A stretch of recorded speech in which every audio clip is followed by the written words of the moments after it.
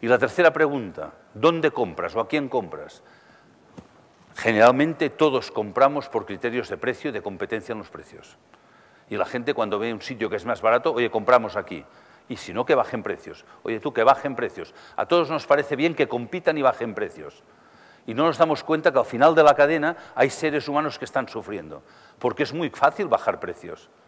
A nuestros hijos que les hemos dicho que estudiaran tanto, cuando salen a la calle a buscar un trabajo nos dicen, oye, tanta carrera, tanto título y no encuentro ningún trabajo que me paguen más de mil euros. Claro, ¿por qué voy a pagar más? Si es un tema de oferta y demanda de precio, porque voy a pagar un sueldo digno para que viva dignamente, si con la competencia que hay seguro que encuentro a alguien que por 700 euros me lo va a hacer. Y trato al ser humano y a su trabajo, que es una cosa de dignidad espiritual, como un tema de precios y de costes. Y de hecho la contabilidad de las empresas pone costes de alquiler, costes de luz, de mantenimiento, de limpieza, costes laborales. No puede ir al mismo saco. No podemos poner el salario humano en un tema de costes. Es un tema de dignidad. Hay que ver, evidentemente que hay que hacer la contabilidad de la empresa, pero no se puede apretar hasta el mínimo. Ah, oye, ¿cuánto cobras? 800, lo siento. Con la última patera me ha llegado una remesa, los que han llegado vivos, que por 500 me lo van a hacer. Esto se ha estado haciendo. Hemos degradado el ser humano y el trabajo un tema de costes. Y nuestros hijos pagan las consecuencias. Entonces, esto a cambio de que, de que unos tengan menos costes y tengan más beneficios, pero tampoco les trae la felicidad. Entonces, no podemos comprar solo por tema de precio. Cuando estamos apretando en el precio, al final de la cadena, hay gente que lo está pagando. Y la fruta que importamos de fuera es más barata porque aquí todavía quedan derechos humanos y en según qué países no. Y allí se puede explotar sin ningún problema. No podemos permitirlo. Tenemos que ayudar a cambiarlo tanto si somos consumidores como si somos empresarios. Muchos empresarios hoy se están descubriendo, se están despertando a esta conciencia y me están diciendo, Iván, quiero cambiar, me doy cuenta que, no podía ser, que tenía mis valores a un lado y a la hora de sacar la empresa adelante solo miraba el precio. Y he ganado millones, pero no soy feliz.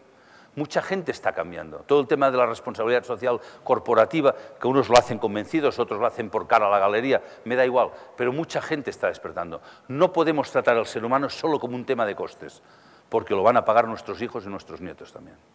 Por tanto, fijaros, de ahí nació el tema del comercio justo. Comercio justo, precio justo. ¿Qué significa comercio justo? Pagar el precio justo de las cosas. Y esto no me lo puede dar un mercado. No puede ser que el precio del café se fije en un mercado de Londres o, de Wall Street.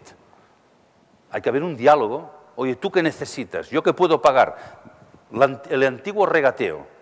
Pero no el regateo para fastidiar, es para encontrar un punto común en el cual los dos ganamos. Y me da igual que en Londres el precio del café sea un euro si para que vivas dignamente tengo que pagar 1,20, pago 1,20. Hombre, pero es más caro, pues tomas menos café. Consume menos y podrás pagar un precio justo. Este es el tema. Pongo el café por poner un ejemplo.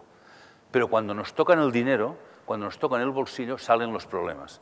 Porque con el dinero surgen las partes más subconscientes del ser humano. Todo aquello que no hemos sido capaces de transformar surgen en 35 años de profesión, he visto la relación con el dinero y allí sale lo más oscuro.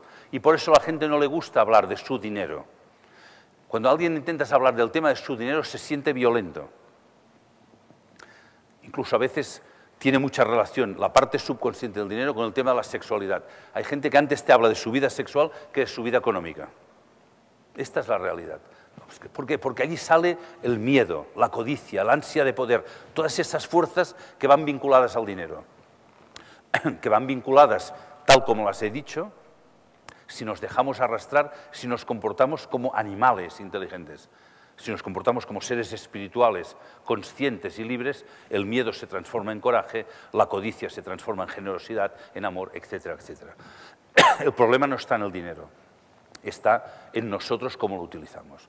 Por tanto, solo cuando vais a comprar, próximo día, sábado, que la gente cuando va de compras, os propongo, si os acordáis y tenéis tiempo, que os hagáis estas tres preguntas.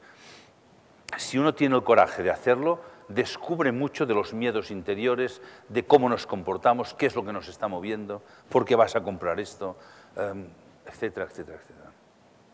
segundo punto, ahorrar. Con el ahorro pasa lo mismo también os haría tres preguntas. ¿Cuánto dinero ahorramos o tenéis ahorrado? ¿Por qué ahorramos? ¿Y dónde ahorramos? Perdón un segundo. Cuánto dinero ahorramos o tenemos ahorrado. Esto ya me voy a ahorrar la pregunta, no os la voy a hacer porque antes la hacía la gente, ¿no? Les miraba la cara y decía, oye, ¿cuánto ahorras tú? ¿Cuánto dinero tienes? Y enseguida notas que la persona se pone violenta. No, yo, no, si, si no llego a final de mes, todo el mundo no llego a final de mes. No, yo no tengo nada. ¿No tienes nada? No, no, yo no tengo nada. Y en función de lo violentos que se sienten, les miro a los ojos y sé cuánto dinero tienen en el banco. Entonces, no os lo voy a hacer.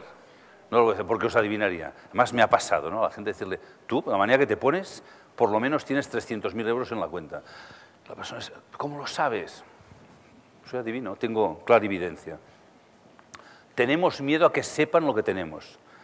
Y en 35 años de banca he visto gente con millones que por la calle les habrías dado caridad, limosna.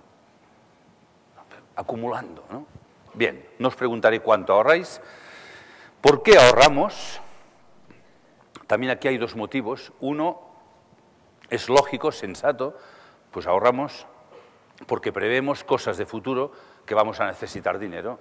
Mira, pues tengo que pagar la matrícula de la universidad del niño el año que viene, tengo el seguro de no sé qué, bueno, vas haciendo previsiones y vas distribuyendo tus ingresos en función de necesidades actuales y futuras. Y esto está bien, un punto de sensatez y tal.